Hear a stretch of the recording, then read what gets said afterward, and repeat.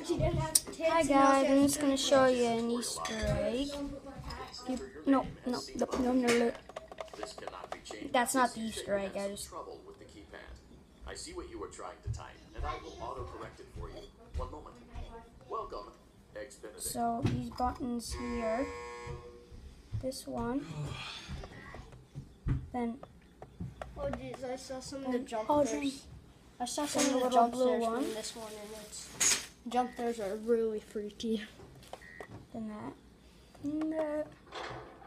No, no, no, no, no, no, please. Night one. And that, did I show them that?